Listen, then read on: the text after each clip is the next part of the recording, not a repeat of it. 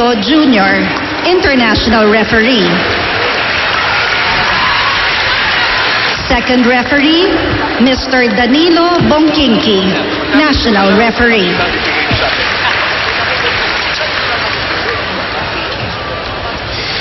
And now, the starting lineup for the Philippine Army Lady Troopers. Number three, Team Captain Joanne Bunag. Wearing jersey number five, Best Server Ging Balse. Number seven, Tina Salak. Number eight, Best Attacker and MVP of the conference, Jovelyn Gonzaga. Number six, Jack Alarca. Number 13, Rachel Dakis. Libero, Angela Nunag. Head coach, Mr. Rico de Guzman. And now, introducing the starting lineup for the women of the Philippine Air Force. Wearing jersey number four, Yari Yonko. Number seven, Wendy Semana. Number 9, Judian Caballejo.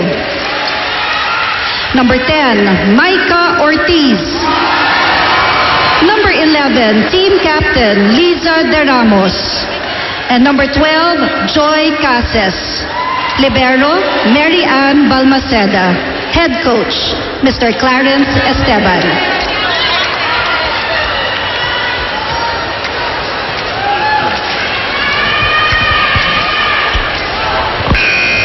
And just about ready, masimulan ang bakbakan nito. Battle for third spot, may trophy to, may medal ito. Mas maganda sa battle for third. Masaya ito, man manalo ka. Kasi kahit pa paano may uwi. Yes, fourth place right. ka, wala ka naiuwi at parang hindi ka nag-champion noon. That's right. So talagang, uh, this is still, kumbaga, it's still a, a, a position to be fighting for itong third place. Namukha nung army, ah, nung Air Force, sabi mo nga, bata pang team niya lang nagsama. They'd be happy to stretch this while the veterans on the other side, alam mo, ito sila Rachel Andakis. Rachel, salamat sa bulaklak, ha? Sihira ang mangyaring tumakasama. siya, yung, siya yung naka, ay, siya yung nagbigay pala sa'yo. Ay, bigyan ko siya ng sampagita sa susunod sampagita yun. Ilang-ilang. Ilang-ilang. Pero nakakatuwa sa mga veteranas, hindi nawawala yung desire na manalo ng manalo. Yes. King Balses, si Tina Salas, champion, gusto nilang manalo pa rin. Set to go! Here in the Shakey's V-League, underway with the battle for third. Tina Salak will be a key player. Jack is with the first attempt. Passes, keeps it in the air. Sa kabilang panig magpunta tayo. Uy, happy si Yonko. And interesting to note that the Air Force is not starting off with uh, the taller setter, ah, Rhea de Maculangan. They almost shuffle it, ano? Mm. Minsan sabay si Rhea at saka si Wendy. Si Mana gives them potency and a setter both in the front row and the back row. Salah gives it down the middle to our most outstanding performer, none other than the Ilongga Bionic Woman, sabi nga ni AJ, si Gonzaga. We're tied at one. She was genuinely proud of that award. Nakita mo sa mga litrato Yeah, niya sa, oo. sa dyaryo. But it was a really uh, ano, a well-deserved award. so. At saka pinaghirapan naman niya. We can see sa lahat ng laro kung talagang how much he really gives to every game. At ilang laro ang ah, dinala niya sa likod niya, no? Nung medyo na check si Ging Balse. Mm-hmm. Yeah. At yung iba, si Rachel Andakis, siya naman ay consistent na nag-deliver. Caballero, nagpunta tayo. Sa source of points, si Joy Casas. Shakey's for fun family pizza. It's gotta be Shakey's. 2-1 count. Casas ang magsaserve. Ito, unti-unting mapupuno itong venue na ito papasok sa championship Mm-hmm. mamaya. Actually, konti na nga lang yung nakikita kong available na upuan Oo, eh. linggo pa. Dala-dala mga pamilya, maliliit na bata, nakikita natin dyan. Samantala, ang palo ni Jovelyn ay isko. Malakas Masyadong talaga. malakas. Saka flat, ano? Yeah. Hindi niya narista ng, ah, Yes. ng tama. 3-1 ang bilang natin. May konting gigil. Pagka ganun, lupaglipad, alam mo eh, may nakita kang Sometimes, butas, yeah. ano? Oo. So, minsan lang nagkakamali ka ng asinta. Uh, sumusobra minsan yung force like that one. I think may konting gigil do sa palo ni uh, Jovelyn. Good Samantala- defense. Yes, tinaas nila ang bola. Bo, y- ah, Yongko, Salak, paborito ng Army. Ging Balses, soft touch. So, hindi nga naman kailangan laging malakas na palo.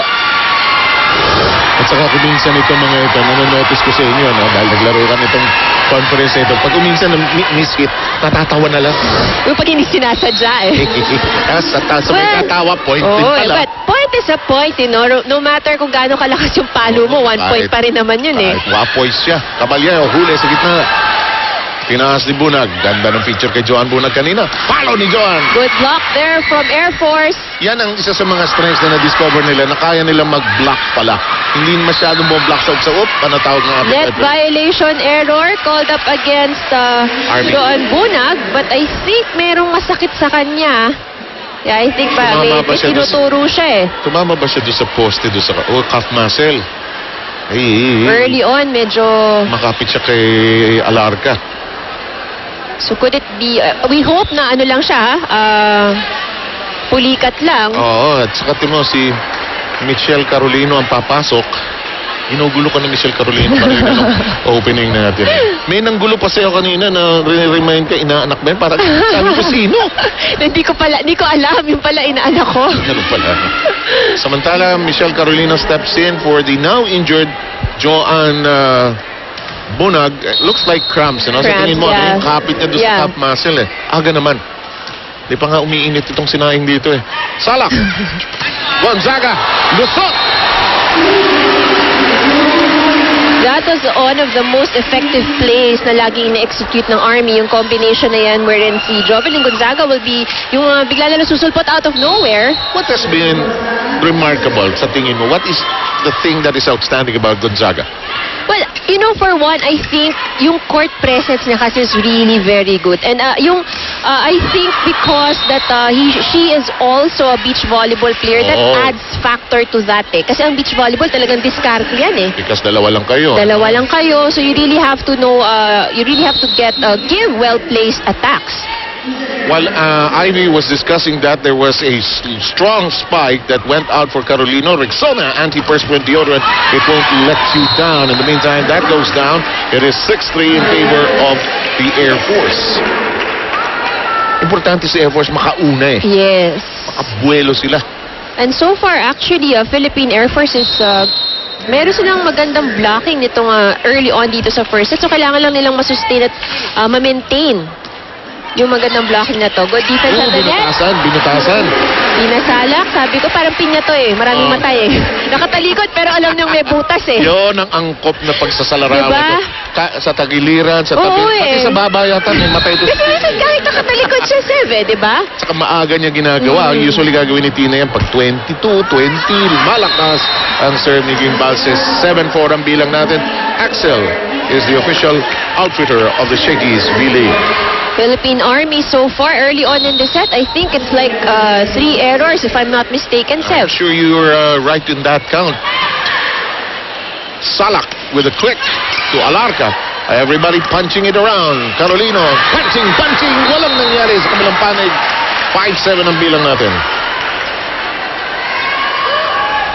Tension din ha, kahit sabihin mong battle for third Oo. lang. Gusto nga talagang manalo ng ito mga ito.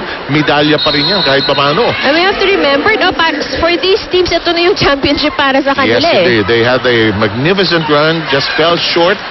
Yes. Oh, this goes down and we hit our first technical timeout. It is 8-5 in favor of the Air Force.